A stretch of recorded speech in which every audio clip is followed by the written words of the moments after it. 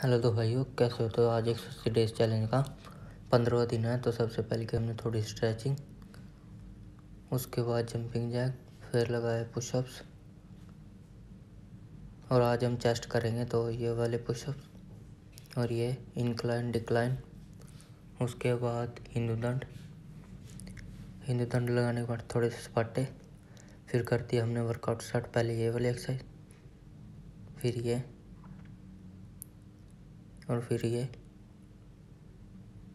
और अपर चेस्ट के लिए ये, और एंड में ये, और ये रही वर्कआउट के बाद की कंडीशन तो बॉडी चेक करो। तो भाई, देखो तो आज पंद्रह दिन है। वीडियो अच्छी लगी लाइक कमेंट सब्सक्राइब ज़रूर करना। तो चलो, कल मिलेंगे नेक्स्ट वीडियो में। धन्यवाद।